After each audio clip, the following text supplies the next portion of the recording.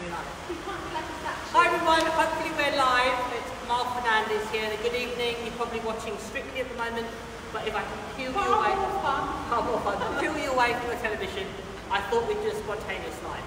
So, um, lives are something that I do on a regular basis for my VIP groups. If you're partaking in the VIP, just come forward. I just, yeah, I could just see that Susanne was trying to get out. So Okay, I'll just come move forward, back. through, look at Susanne. Don't be shy. Might actually be quite loud. Okay. So, lives are something that I do for my VIP groups on a regular basis. If you're interested in joining my VIP groups, just go to Kamal Fernandez online training. This is a plug, is it? Shameless plug. Um, and you can find out a little bit more about that and join my VIPs. So, I thought this would be a really, this was a spontaneous um, idea to do a live with uh, my good friend Bryony Cole, who owns this fantastic Eye to Eye in Bristol, um, and she does dog training, she does television work, uh, and she owns a Huntaway, and a German Shepherd, as and a, a thing, a thing, who's a hound Hound type thing. box, yeah. Um, so, and Bryony's um, training her German Shepherd for Mondio Ring, and this is my friend Susanne, who we know nothing about. Apparently, she wants to be ambiguous. Um, my friend Susanne. Um, anybody that knows Susanne will know that she's this is very much out of her comfort zone to um, to do this live. But those of you that don't know Susanne, Susanne has had, shall I say, a little bit of success with um, Australian Shepherds, making um, Okay. two, Yeah. one up to a dual champion. Yeah. Uh, uh, another one to the beach champion. Yeah, a, a, Years a ago. working trials champion We were born. and a cru- one cross from the Australian Shepherd. So the reason why I thought it would be interesting to have this conversation, because we're all embarking on a journey with um, getting people comment. Uh, okay. Uh, we're all, you're famous, Susanne. No. We're all embarking on a journey to a new sport with dogs that um, may not be um, the dogs that you would assume would be best suited to that particular discipline.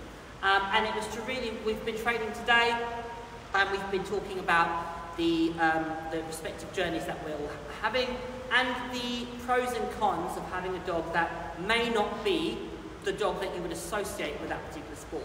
So, for example, I'm training my boxer to hopefully do IGP or IPO. Susanne's um, got a young Australian Shepherd who she's um, starting her, her training with in Mondio Ring, and Bryony is doing it with a German Shepherd, um, which is a new sport to Bryony. And um, so it's all we're all in the same boat that a lot of you are starting a new journey into either a sport, and we thought we'd challenge ourselves even further by by choosing breeds or dogs that you wouldn't um, associate with that respective discipline as your first port of call. So, for example, the sport I'm endeavouring to do, the dogs that are dominant in that are definitely Malinois and German Shepherds, um, and I would say that was probably the same, certainly Malinois for Mondio.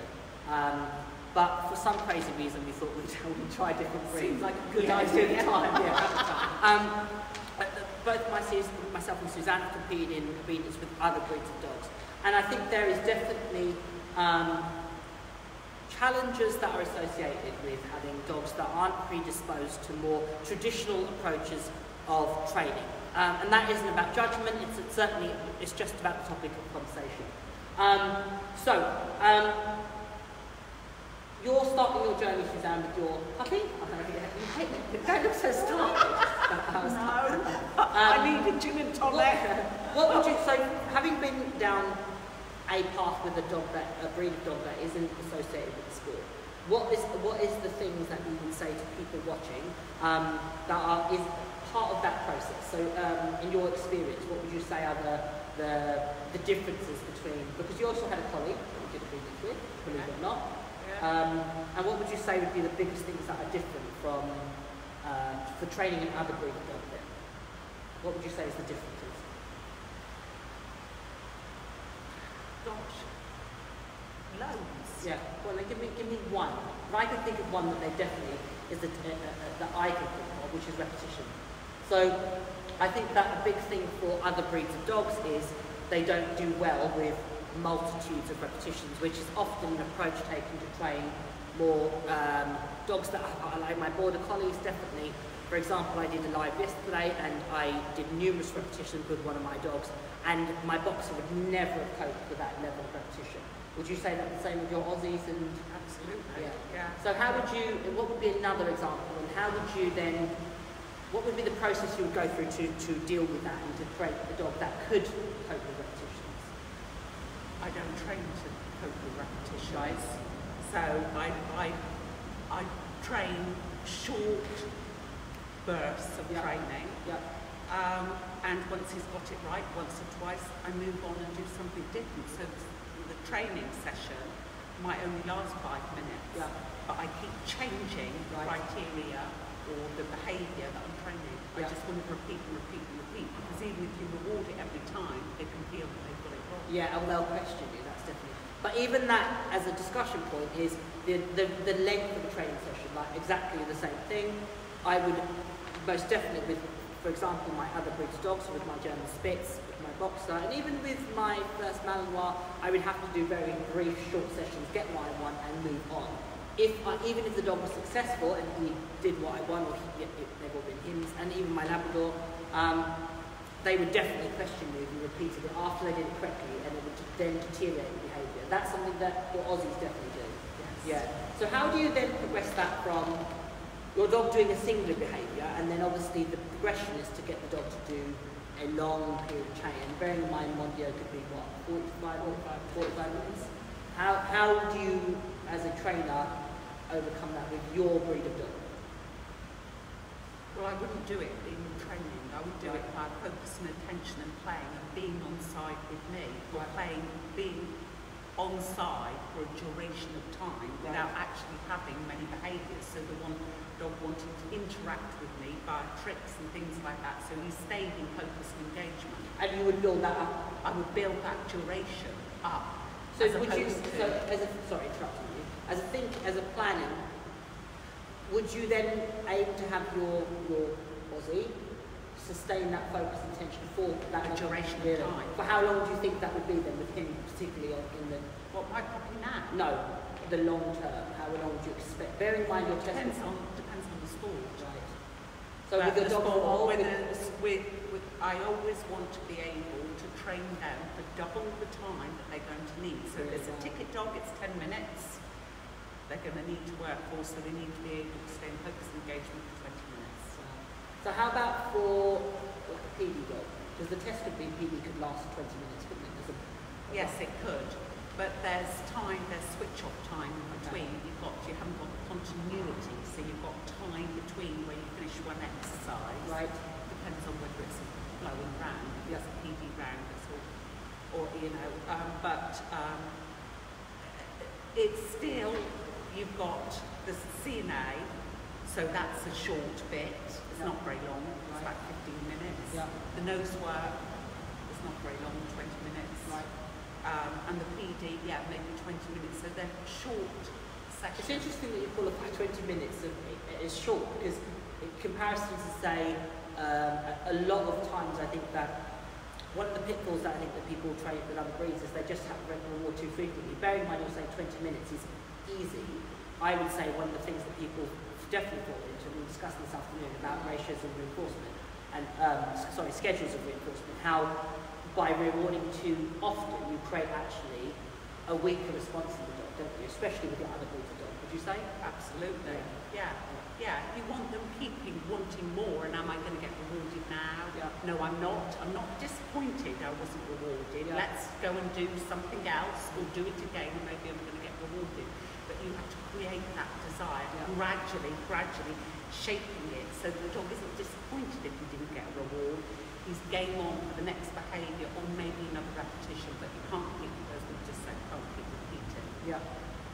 So, um, so how about yourself, Bryony? As a, as a new to a sport and training a dog that um, hasn't been um, has been slower to develop and has taken a different approach, what would you say has been your uh, your learning experiences thus far with her in particular? Learning to be more patient to wait for her to mature, I think, Yeah. a little bit. Because Yeah. I've not had a, a breed that is slow maturing like this before, and Yeah. everything else has come a bit quicker. Yeah. So being patient. Um, yeah, I think I've been, like we were talking about uh, intermittent reinforcement today, and I think I've been too. I expect a lot of her, Yeah. and sometimes I shouldn't do that thing. Right. Um, but yeah, it's been really interesting. I'm I'm really pleased I chose this breed of dog. Okay. Um, because it's been a challenge for training her. Yeah. And it's just put like it just it's just so much more exciting. It's put loads of cards on the table, and she's Yeah. just she's yes she's not made for Mondio, but she's more made for sport, whereas my previous dog wasn't. Yeah. Um, and it's hard trying to push a, a dog into sport that she's not really made for. So. Yeah. I think that I know. Yeah. I think that there's an interesting, two interesting points there that you raised. One is about maturity levels. So it's not unusual for, you know, say for example, a border collie to be up, ready, and you know, well before a year. You know, I've had numerous border collies that have been physically and mentally capable of doing a substantial amount at a relatively young age. That isn't to say all border collies, and please let me be clear about that. Border collies are most definitely not the you know the, the, the perfect dog, far from it. But they definitely have a um, a predisposition to you know the, the traits that are desirable for trading. Um, whereas a two-year-old German Shepherd or a two-year-old Australian Shepherd or a two-year-old Boxer, they are babies, aren't they? They are Yeah. mentally, Yeah, well, they are. I think Aussies are, they actually mature quite quickly, Right. much quicker than a shepherd Right. would. Not as quick as a, a collie, but Yeah. I think that they mature quite quickly, really. Really? Yeah. I Is that because you you you asked of them, Susanne? Who Do you think? knows? Right. But I found that all of mine have matured quite quickly, really. Really? Um, yeah. I don't know about yours, but she's like, she's 19 months old now, and she's still, she's just had another growth spurt and stuff like that. So she's Yeah. still, she's like still physically being put together as well. Yeah. Um, which I had before because I had a, a giant breed before, but well, I have a giant breed. Um, but is your boy full grown? No. Yeah. He's as high as he's going to be, as Yeah. tall as he's going to be, but he's going to fill out. But do you notice like stark changes in his? Well, I have since I last saw him a couple of weeks ago. He looks. I think when you live with them all the time, you don't Yeah, notice yeah, it. yeah. You don't notice it. I think there's definitely, um, with the breeds of dogs I have, certainly my boxer, although he's not a particularly tall boxer, he definitely physically took a long while to mature. Uh, I mean, he took a long while for his body to coordinate with his, uh, and even then his, once his body was together, then his mentality took a little while to develop. Um, and I know my, my Malinois, who was very tall, he took, he was like at 10 months old, he was just, he was still growing, Yeah. you know, he was bum high. I remember really struggling with heel work training because he's, although he mentally had, you know, a level of concentration, his body just didn't coordinate. And it was a case of then just, you know what, leaving it be. I think that's the big thing with certain breeds of dogs. You can't, even though you might want to progress your training, you have to go the way of dog. Yeah, Wait, you have to wait. wait, wait, wait. And that in itself can be frustrating. It. I find that really frustrating. Really frustrating because I'm so impatient. Yeah. And that, that's been a learning curve. I think, Yeah. having a judge. I think you definitely, certainly for the big, big thing that I know with my other breeds of dogs is um, they, I'm, you know, I can be a little bit obsessive about my training, um, and I would like to train, you know, numerous times a day and do lots of little sessions, etc. if time permitting.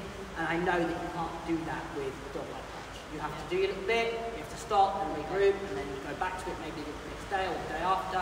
He, he just didn't take the um, constant five minute, even i- though he may have the want mentally, his, his body was coordinated. And when his body was together, his mentality was together. Um, so in terms of with your, your breed, Susanne, um, having you've obviously had other breeds of dogs as well, what made you gravitate back to them? We've had the discussion on a personal level, and what made you go back to Aussies then? I love the look of them. I love the way they think. Right. And I like training dogs that like to think and like to use their brain. Right. So I like the way that they think I like to get into their heads. So that was, I think that's a thinking breed. Yeah. And I like thinking Yeah. breeds.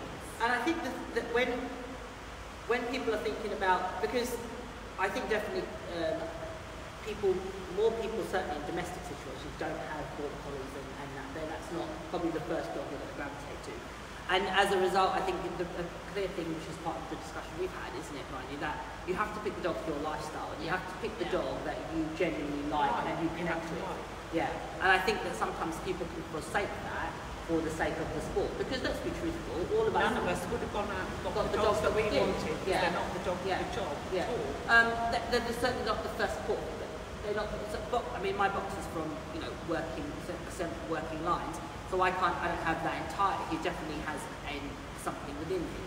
But the the obvious choice would have been to go down that. I've had them before. I always would have got one that would have been Yeah. more um, susceptible to the job. But I, I chose him because one, I like the breed, and when I, I, I remember people asking me why did you get one, because I like them. I think that's you've got to like the dog that you have, haven't you, really? um, as opposed to getting the dog for the task. Because like, to It me, depends, it depends on whether you love the sport Yeah. and you actually want to do the sport and it's the sport that attracts you, then you might get a dog for, for the job. yeah, But.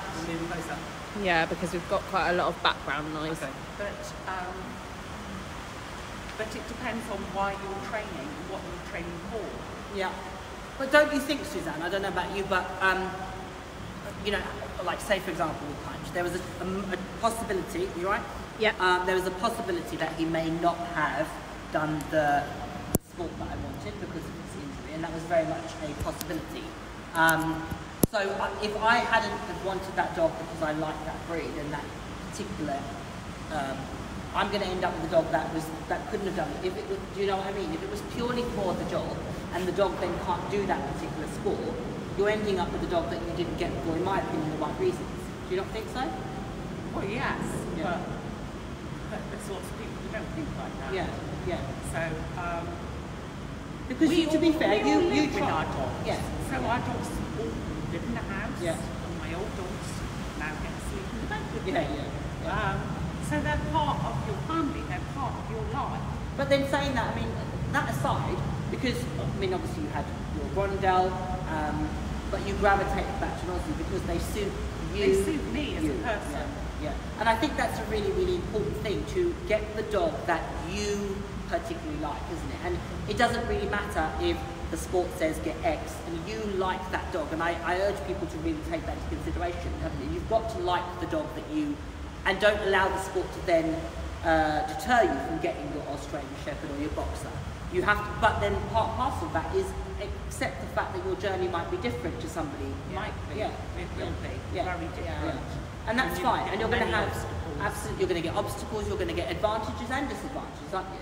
You know, I would say. Where's the, where's the advantages? I said, okay, let's take Aussies for example. The vegans. I, I personally think Aussies have a Natural movement. natural movement. So you would score over me with my my little smooth coated border collie or my smooth coated Malinois, and with you know their little straight my Malinois with their straight shoulders. You would have a distinct advantage because your dog would move naturally better than mine, and they're also their structure because they've got you know leg in each corner and they're quite substantial and they've got a broad chest. They're going to have adva- and they've got a coat. So you're going to have a lot of things that would be an attribute to a sport like obedience. But the trade-off is they go, you threw the retrieved article, why would I want to pick it up? You said go to that centre marker, why would I want to do that competitively? So there is pros and cons, isn't there? Whereas my Myanmar might happily would love to do retrieves and love to do sendaways. Um, but I think a key thing is to enter into the relationship that you have eyes wide open. Would you not, would you not agree? Yeah, yes, but you love the dog, you love the breed, you work with what you've got, Yeah. and you do the best that you possibly can. Yeah. And like you say, there are going to be some advantages. Um, I don't know quite what advantages I'm going to have in Mondial Yeah. what an, Because achievement, what an achievement. Yeah, well, Yeah. let's just wait and Wait see. see. Yeah, yeah. But if it I'm enjoying the enjoying the training, but um, we could argue about obedience, about having movement. Yeah. We could get into Yeah. the whole Yeah. thing about Yeah. does movement But then let's take, matter? okay, let's take the... It not- matters to me. Yeah, but let's say, okay, let's take not movement, let's talk about the size of the dog versus say, for example, if you had um, a Chihuahua. A Chihuahua to do hill work, that's going to be challenging, isn't it? If that was your breed, your Australian Shepherd who's up Yeah, high hip, yeah. there's an advantage. So I think the thing is, you you you've got to when you pick the breed of dog that you love or want, the breed etc. That that you, you I think that's really really important. is Yeah. most Um, important because you're living with the dog. Aaron's watching. Is it? he says that you- you look a bit too serious. I'm Oh, so sounds all the singers. petrified because I've never done this and it's under duress and I just want Did to take slip quite a lot of harassment to get you sa- Yeah. sandwiched in Yeah. between the two Yeah. of us so you can't escape. So how, how about from your point of view then, Bryony? Then, so as somebody that's new to competitive dog sport Yeah. in this in this entity, and you decide to get what what have been some of the let's put our cards on some of the frustrations and struggles that you have experienced from your perspective. There's an endless list. So what was Um, what was the one that you think that surprised you that you thought oh I didn't what's been something Drive. Dri- the drive, the challenges of the drive. The challenges with drive. Yeah. I thought Prey um, drive, Yeah, predatory yeah, yeah. drive. um, my previous dog has drive coming out of his ears. Right. And he's not made for dog sports or anything like that. He's Yeah. a working dog through and through. Um, and I thought, naively, um, getting myself a nice and bred working dog, Yeah. I wouldn't have problems with drive, but I have. Yeah. Um, so that's been No guarantees. Yeah. No, there's no guarantees. Um, I find it frustrating because I feel like I've got a dog that's like she's got naturally lovely movement and she would do nicely in a sport Yeah. that could enhance that. Yeah. Um, but my sport just doesn't call for that movement whatsoever. Yeah. So that's I find that frustrating because it's kind of something that I want to progress that I probably won't bother. Mhm. Um, what else do I find frustrating? I mean, she surprised me in good ways in the sense that she is like the best dog to live with I've Mhm. ever had. Mhm. Um, and I didn't expect that of her at all. Uh, can't think what else she's. Yeah. How about you? What what um, challenges and frustrations have you experienced then? Um, being patient, the Yeah. Bronnendale taught me that. To wait, wait, wait. The time is not right. Yeah. The time is not right. I haven't really had a, many frustrations with the obedience section, but then I'm in my comfort zone. Yeah. Um, it's the bitey stuff um, that I'm frustrated with. That he's not ready yet. Yeah. I just know he isn't Yeah. The dog that he's going to be. So even if I sat and left him for another six months um, and did nothing with him, I think he will be better. Yeah. I'm not going to leave Yeah. it because you need to tinker away and sow, sow the seed. Yeah. Um, but I need time Mm-hmm. and I want to get on and do it, but the dog is not ready for it. Yeah. So I've got to be patient. Yeah. Patience is a virtue, isn't it? Patience is the hardest thing. Patience is. I'm not a patient person at all. But you, Yeah. and I mean, I've, with the dogs that I've had in the past, certainly they, I learned that lesson. You know, and you, you just, and you know, I had a very good mentor that really was very much like you can't push them when they're not ready. You you have to go at the speed of the dog. And you know, she used to always say when they're growing, leave off, back off them, leave them alone. And you know, there was a lot of wisdom in those words, and I and I'm thankful that you know I had that person to guide me, as it were. Yeah. So let's talk. What's the, the things that you've surprisingly actually enjoyed that you did that you go I'm that you are grateful for having that particular job? What is the obedience. Like, I've never enjoyed training obedience before, and now Right. I love it. yeah, because Um, of her movement. because of her, and Yeah. she just likes doing it. Yeah. Like whereas Gus just doesn't Get it. It's just not his thing. Yeah. Like he, he'll do it, but it's just not. She gets a kick out of it, which I really like. So that that I enjoy. Mhm. Um, what else do I enjoy about her? Just how lovely she is. Yeah, she's just a nice. yeah. You know, she can switch it on Yeah. and be a nice sport dog and be serious about stuff, and then she can just like you said earlier, she can just yeah, lounge around on the floor Yeah. with us all and like she's not a liability or a problem in any Yeah. sense. Um, but she's been really fun and I think actually although there's been frustrations there, she's been a really nice dog for me to step into dog sports Yeah. with. Yeah. Because I could have got something else and massively overdone it and then had something that I'm constantly Yeah. battling to rein in a Yeah, it would be like a learner driver trying to learn how to drive a Ferrari Yeah, and exactly. M25. It's just Exactly. going to end in tears. How Um, about, sorry. Yeah, no, carry on. Uh, how about yourself? What have you actually gone? Do you know what? I'm really enjoying this particular dog for this reason. But, Um, all my dogs have been lovely, although I don't talk very well of them. um, he's a really nice, sane, nice dog. Yeah. Nice dog to live with, amenable, friendly. lovable, affectionate, take him anywhere. He's very well balanced. Um, he's a really sound tempered dog. Right. Um, and that is really nice. While his father was Had a more edge. had more edge, Yeah. which was much more exciting to Yeah. work. Um, It came with its stuff. and it came with it, its stuff. So Yeah. whilst he was, you know, a great sports dog, Yeah. you kept your wits about about you with him because he had more edge to him. Mhm. So he wasn't the sort of dog that you could just take anywhere and let him off in the park and Yeah. be absolutely um, fine with. So um, this dog is, is a nice. He'd make a brilliant pet dog. Yeah. yeah. And that is I just so, want to do. it's I so- want to do dog sports. It's good. important. It's good. And It it's is so- important. I would rather have a dog, although it's frustrating. It comes with you can have a brilliant sports dog, Yeah. right? But the lifestyle that I lead would mean that it would make it difficult sometimes Yeah. if the dog had a lot of Yeah, edge. And I want a dog Yeah. to be able to know he's absolutely fine with animals. He doesn't have a serious chase Yeah. problem, prey. Um, he's 100% with all sorts of people, um, and that that is nice. But it means that there doesn't seem to be much edge that you can tickle him up and get him agitated. Yeah. But I feel that it may come. He's naturally guarding now. Yeah. So little things like barking. When And he's only a baby. He's yeah, only, he's what, only 10 like, months? Yeah, 11 he, months? he is. He is No, you're going to see. There's going to be. Uh, that's another thing. You're going to see developmental changes, aren't you? With him, he's going to, you know, become more. And the thing that. I also enjoy, here's the ch- challenge, is when people say, you can't do it. Yeah. Yeah. But that's and I've always, been, always your been my thing. Yeah. You won't do that. Yeah. You'll never do it with that dog. So that. And I might never do it with Yeah. that dog. I might not. So that, but that I love that challenge. Go. Um, Aaron Who's from? says, Aaron, Okay. what are your frustrations up to the top level? Um, fr- frustrations at the top level of any sport, I think, is um, sometimes it can be political. That can be frustrating. I find Sometimes. that. Yeah, I think that Always. It's not Yeah. political in Mondio, I think that I, I would say my experience of all top level sports is is it, it's a, it's a test of character, it's a test of mental game. You know, I would say that the big the let's not the frustrations is actually kind of why we do it, isn't it? It's the challenge of overcoming your own. It's not just dog No, training. it, it, once you dog get that training level, is just yeah, of it. I think at that level it's not game. more about dog. But it's we not talked actually about that again earlier, didn't Yeah.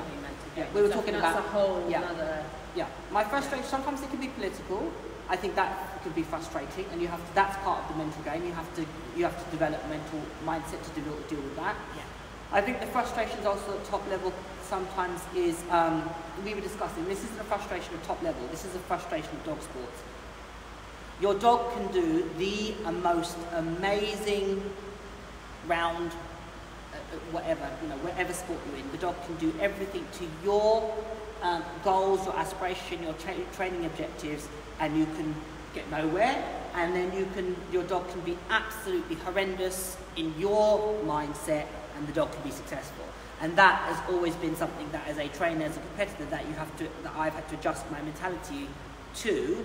Um, that you have to take the, um, you know, the rough and the smooth, so to speak. I think that is part of competing in dog sports that largely they're subjective. They're based on subjective. Agilities and flyball aren't, but all the other sports, certainly the ones that we're endeavouring to take partake in, are subjective.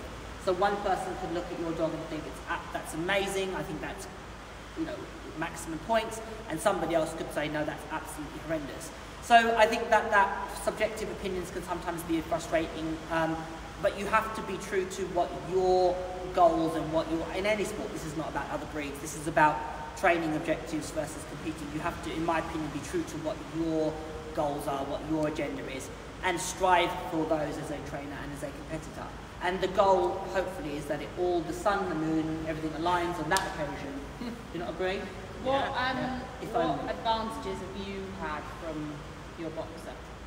advantages. Um, so I I have to say the advantage I had with him was that he he quite likes the bitey bit. You know, so for the sport that he does, you know, he, he was always okay on that. The obedience has been his biggest struggle because of a lot of physical like stamina. There's a big drama for him. His face shape definitely made getting him fit really, really challenging. Thank you to Pro Dog Raw. Um, he's like in amazing fitness now. Um, shameless plug there, Pro Dog Raw. But joking aside, I his breeders have been fantastic, and they were really, really instrumental saying the breed needs you to do X. So that was really a thing. But the, the frustrations, physical stamina has been a real challenge. Um, but the advantages he had was definitely he, he did he liked the bite he did, and he took he took to it quite well. Um, but so that was definitely an advantage. Um, and he was actually he's quite he quite he's quite methodical naturally on tracking. So whereas with the Malinois, I think speed would have been an issue. Yeah. Uh, I know with Thriller speed was an issue and Strut speed was an issue. The little tracking I did with them, but with Punch, bless him, that's where his methodical mindset is actually an asset because he's quite monotonous and he's naturally. So those were definitely two advantages. Yeah. Shameless plug. The, the supplements Yes. from Pro Dog Yes. are a big influencer in what you were saying about endurance and stuff. as well. Definitely. Like I, I like. And, And like I wouldn't are. say unless I know this is that you hate this sort of stuff. I know. I hate it. yeah, but we're We're telling you to get your puppy. You should get your we're puppy not. on it. We're not. No. On, but genuinely, genuinely, like we It made a massive it today, difference. it makes a huge difference. Yeah, Huge massive for him. It's massive. I, I, I said that. I did a lot of work on his fitness. I will say that. But definitely, it, it, his, his fitness level.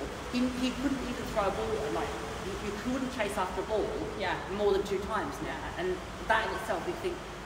Or what he really struggled with was if he ran a short distance, like say 20 meters, and you asked him to bark, he was like, "No, I can't do it." Yeah.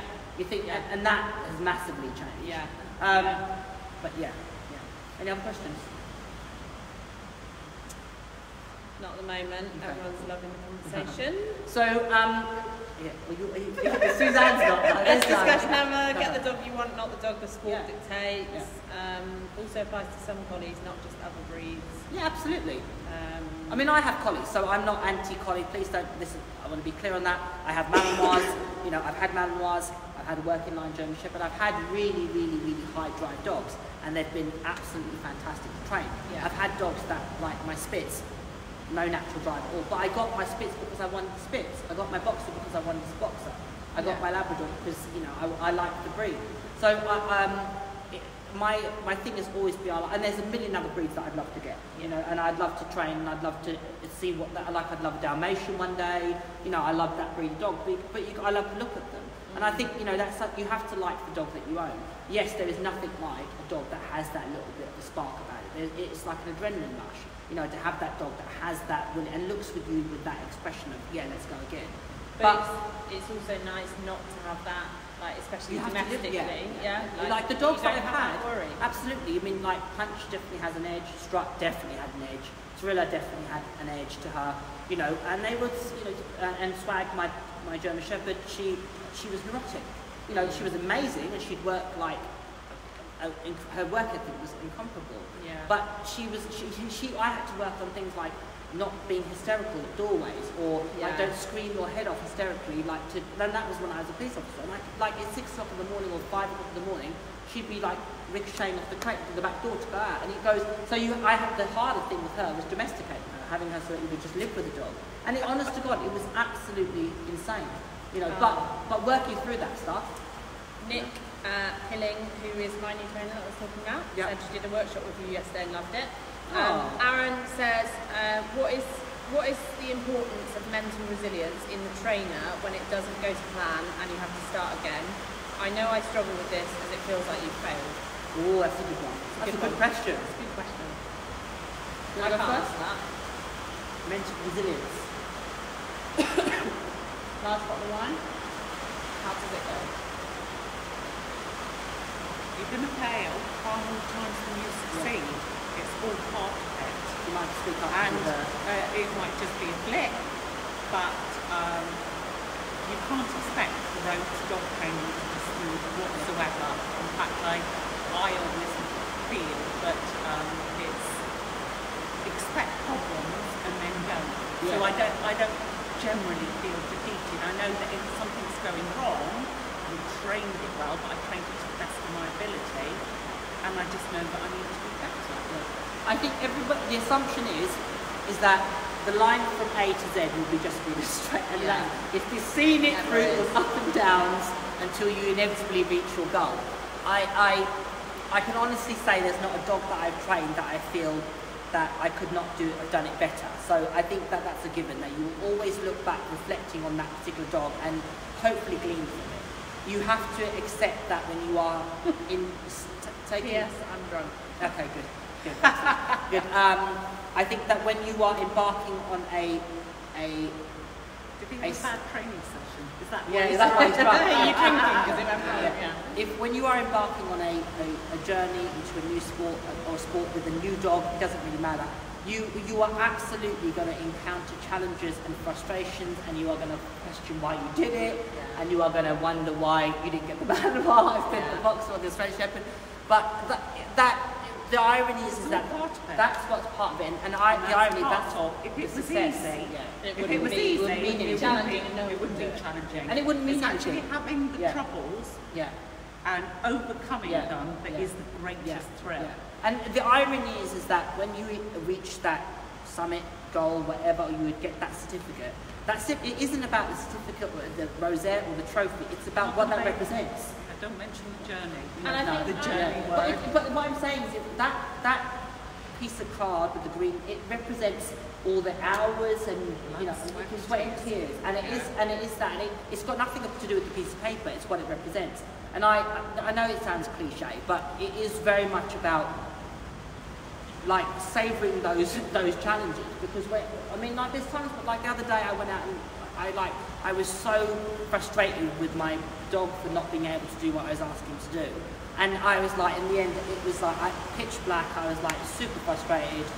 I put the dog away regrouped and you know vented a little bit got it off my chest picked myself up and moved on. Because what are your choices? To give up and stop or to think differently and that, to me that it's it's I would rather think differently okay what is what can I change how can I be a better dog trainer what is this how can I overcome this struggle this challenge this whatever uh, You know. I, I think like I can't speak from a competitive point of view, but I think it's so important to surround yourself with people that are, Yeah, we talked that about this. positive that Yeah. can help you as well. Because Yeah. sometimes stuff can just like today, of things that we've done, stuff can just become a little bit unclear, and Yeah. it's like you can't see for the trees, and it, it, it's just because you're so bogged down in something.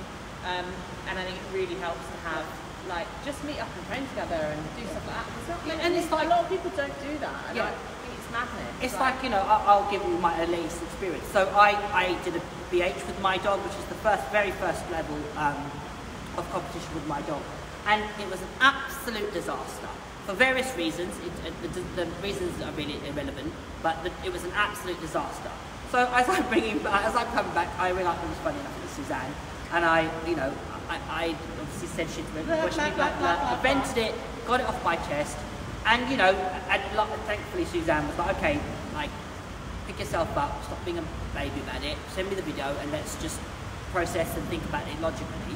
And then we thought, you know, between Susanne and myself, and you know, and looking at it, I formed some There sort of plan. yeah, You know, there was- was there there was was gaps. holes. There was holes, There was and that's the truth. You go, what the competition exposed was actually there was things I needed to do better. I need to do, be- do better. And it, you know, there's there's so many cliches phrases about failure versus success. You are going to fail. You have to be prepared to push through that. And ironically enough, you know, it, this uh, I messaged a friend of mine saying it's an absolute disaster, and he very graciously messaged me the next day and said, "Oh, you know, what? How do you feel today?" And I said, "Determined, because what else is my option? Yeah. You know, what else do I choice do I have? I can go, I can, you know, go boo hoo woos me and walk away. And there's to be honest, there's no failing in saying, do you know what? This is not for me. It, there, that is not. That is not. There is nothing to say. Do you know what? This is just not my. This is not for me. I'd rather just take my dog for a long walk or train it and not compete with it. Yeah. But if you are going to do dog sports, you have to develop a level of resilience. Again, surround yourself by the right people is a really, really good, good one. And you know, I, as, as we've discussed about mental game um, and developing a level of resilience. And look, and the other thing is to look at your training objectively and with, if you can, without emotion. Yeah, because I think emotion can cloud judgment. But often, you know, it's a very emotive thing. Oh, I, my dog is this, it's all da da, or you know, or I'm useless, or da da. When you actually look at it, you go, actually, there is there is positives I can take with it. I can improve this. I can change this. This can be better. Um, and if you've done all that and you've given it your best shot and it doesn't work out, then you can say, I tried. I tried my best. Yeah. Um, can do. someone's asked uh, if your last dog was successful. Um, sometimes ex- expectation can hold you back. How do you cope with that? Change the sport. Change I the do. sport. Yeah. yeah. Do you know, some, again, like, um, anybody in dog training will know the name Sylvia Bishop, and who is, a, a, an incredibly, incredibly successful dog trainer, competitor, and, you know, she made up multiple champions and, you know, was a huge influence and mentor. And the wisest words, amongst others, one of the things was, she said to me was, um, whenever she got a new puppy, she would she would go up to, you know, she'd tell always tell this little story. She'd take the puppy, go to the mirror, she'd look in the mirror and say, well, who are you? And you know, this I'm this and you're that. And uh, she'd introduce herself, and she would say, and she would treat it as if it was a blank slate. So it didn't matter that she'd made up multiple champions and won a hundred tickets and made had dogs at Crufts and made up one Crufts. She was like, this is a new journey, you know. And, and oh, new, I see the journey word. I know you don't like the J word, but this is a new, this is a new puppy. I know nothing about you, and it's why she was so successful so long because she didn't. She's always said you're only as good as the dog on the day. You're only as good as the dog on the end of your lead. And you know, you, you unless you're prepared, if you compare your past successes, to your it's too much pressure. You know, and and you're, uh, you know, dogs. You're only as good as the dog on the day. And the other thing is, because you aren't successful with that dog doesn't mean that the person is a great dog. There's so many people that have, you know, not every dog's going to be a champion. Not every dog is going to be a world class dog. You, that's part of parcel of it. You know, if you have a special dog, enjoy the jo- the, the ride. Yeah. Um, the, the ride. You enjoy the ride because they're few and far between. Uh, but it doesn't mean that you can't be successful within that dog's capability. Uh, what would be the best way to end a training session? Would you just say that it's uh, would you just say Yeah, good dog, alcohol. or would you have a? Uh-huh. They mean for the dog, not for you. Um, or would you just have a game for a happy ending? I think Depends on what you're working on. differently, don't we? It depends on what you're working on. Sometimes you, I like the other day, I just went, okay, I'm going to put you in the van and go for a very long walk. Cry. yeah, cry in rain. Yeah, yeah, cry. I was crying in the fetal position and rocking. There was a lot of rocking involved. Uh, it depends very much on what you're working on and where you're at. Sometimes you want to end it on a good note. Sometimes, like this afternoon, Susanne's puppy, she finished, she was lovely. She let him bimble around for a moment, then she went because she didn't want to just go bang back in the van. Yeah. Sometimes you want to leave the dog and want, oh, let's run back to the van, you know, take the toy back. It depends very much. There is no, there is no, I don't always have, it doesn't always have to end on a good note. No. I think that's a misconception about reinforcement. An old mantra of traditional training was you always had to end it on a good note. Not necessarily the case. Yeah. And actually, we, I had this discussion with someone else a, a while ago, and um, like in terms of finish cues and stuff like that to end the training session. Yeah. And sometimes ending on a good note would really poison what you've just done. Yeah. Um, so you have to be careful, I think, in that terms. I think- try and think- be fairly neutral about it. Yeah, you, you, it's about reinforcement. Uh, Yeah. what you're reinforcing, and if what you, the dog did is worthy of reinforcement by all means. If the dog doesn't do as you've asked, and you just say, okay, dog, the dog, there's no, you could, you might take him for a walk. I might not be particularly happy with that moment of what the dog did, what, and I might give it a treat or a click, but I could take it for a little potter down, let it have a wee, and put it back in the van. It doesn't mean the dog is bad. It just Yeah. means that I, it's not worthy of reinforcement. Um, have any of you ever had an issue with a dog from a training point of view that you haven't been able to crack? I have. Okay, go on. my little rescue hound has a capacity, like a very set capacity of about five or six things that he can learn. And genuinely, it's like filling a tank up. You put one thing in, And all work to six. out. It doesn't all come out, but when you've got to six, Maximum. if you put seven in, one drops out. And he literally, he has a capacity, and that's fine because he's a pet dog and he's really So old. what was the question again? Um, have you ever had a training problem that you haven't been able to crack? No. I can't crack that. And to be Oh, quite honest, loads I'm of- Loads of, loads of things. Um, that I put sticky plaster on Yeah. and um, go, You train badly." just train badly Yeah. and I've sometimes I've decided Yeah. I'm going to accept what I've got Yeah. and know that it's going to be okay for other people. Um, or I've gone, this is absolute shit and I'm going to ditch it, which is what I'm at with my DC. I love my DC and I don't know whether to accept what I've got because I like it or whether they're all going to hate it. You to show someone, don't you? Because Yeah. I, li- I really like it. Well, it's nice obedience, do you see? Yeah, it's snappy and smart. It's snappy and smart. So there's lots and lots of things. I don't think that there's anything that I've, this is my nature, there's don't think anything that I've trained I've been really happy with. Yeah, I could snap. always have done better. Every dog, like I said, every dog I've ever owned, I thought Well, if I could have my time again, I would do have that differently. Yeah. But then I think That's part of the journey, isn't Yeah, it? but the, uh, the only thing I hope is that I haven't made the I same haven't made the mistake. same mistakes. Same, I yeah, make new yeah. ones. Yeah, yeah. You make And I other keep on making new mistakes. ones. And uh, I, that's the thing that I hope that I'm conscious of. I haven't made the same error with this. That, and um, yeah, and I, I would say in terms of the majority of issues that I've had, I would say I've even if it's a big, massive cock up, I've some way managed to improve it. I haven't always fixed it, but I've definitely improved it to the point where I go, like Susanne said, it's passable. You know, like Yeah. my, my Malinois retrieve, my first Malinois retrieve was diabolical. It was just, horrendous. And I patched out to the point where it was passable. But I was like bloody hell, my next her retrieve was. Like I was like fanatical about it. But there was things with her I made mistakes on. So um, like she had a very technically good retrieve, but then I caught something else up with her. And I So- guess the more, like you were talking about us having different breeds and stuff, the more you open it up, you open your training up in terms of getting new breeds and adding new stuff in, the more you open yourself up to make more mistakes. Yeah, but more dogs you have. Yeah, The law of exactly. averages says the more dogs you have, the more have the mistakes same you breed the whole way through, Yeah. and you know the line and that's it, Yeah. then you kind of close it off to those. You're still going to make mistakes, of course you are, but um, the, but that's what makes you learn, isn't it? I, I, I, think that people are so, I think one of the biggest things that people, in terms of dog, they're so afraid of making mistakes. So you get like perfection paralysis, I think Denise calls it, Yeah. Denise Fenzi calls it.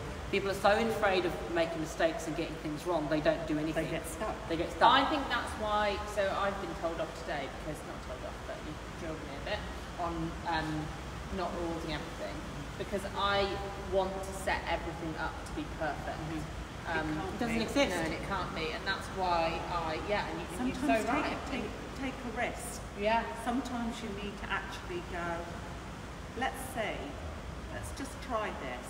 And if your dog is open and also doesn't worry about failure, it might work. Doesn't mean that it's sorted, but you go, I took a risk. Gosh, yeah, it's a, say. uh, it was.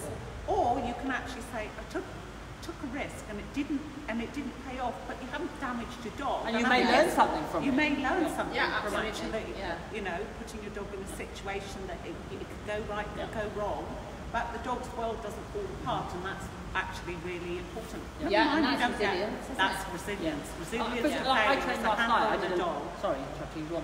Resilience to failure as a handler Yeah. and as, as a dog is a very important part. Yeah, I think that like the, the conversation of you know failure, frustration, and stress in dog training it can be very controversial. Oh, dodgy? Yeah. Yeah. Well, no, no, no. But what I'm saying is, I, like you and I are both. I don't mind my dogs failing and getting it wrong. Like, I mean, I trained yesterday.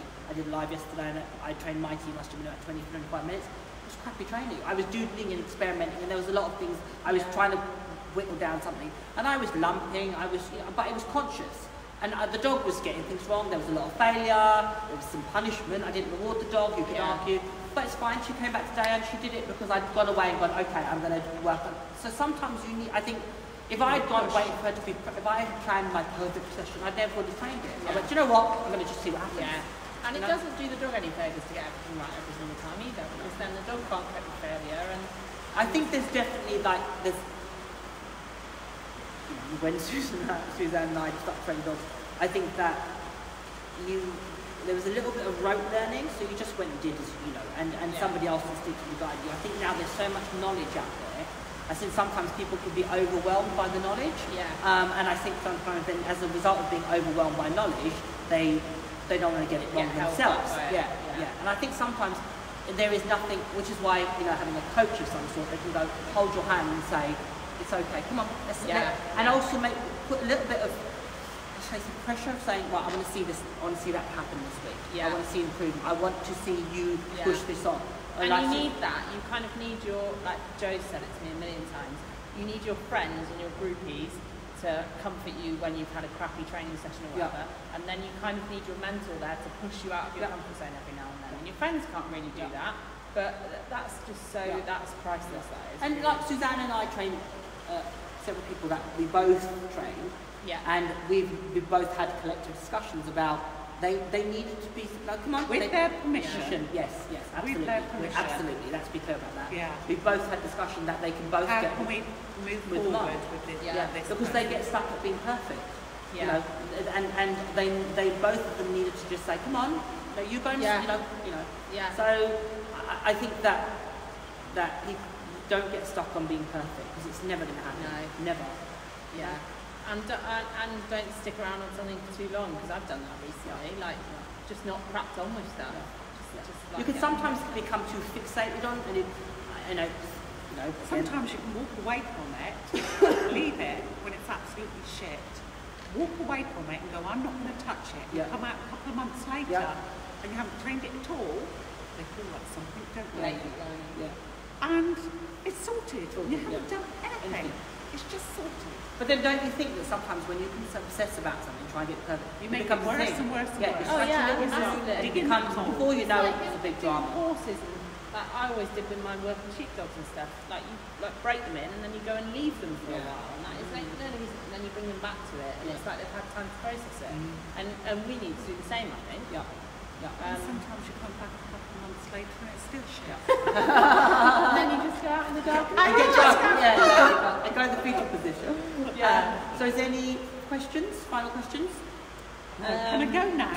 I, was like. I, I know you pinned That's me to you the chair. learning by making mistakes. Kamal teaches switch on and switch off cues.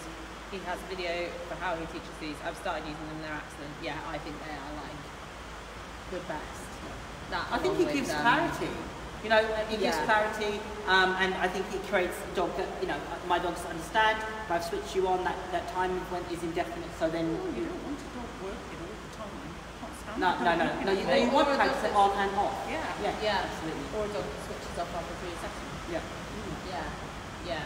I think they're valuable. Cool. Um, We good? good discussion. Really? Yeah. I'll have to twist Susanne's Susanne's- every second of it. I have to ask Susanne down to do it again. Got a nice question for you. Can you ask Kamal how do you cure mouthing on a retrieve? Who said ask that? Jenny Lunn. Oh yeah, Jenny. no, the best of questions. Where, which, he, which hand do I hold my lead in? That's the real golden one. All right, we're going to love you and leave you. Hopefully you've enjoyed this discussion. I'm going to let Susanne off the hook. Thank you very much for joining us. You can get back to Strictly. Uh, yeah, cool. Bye. Bye.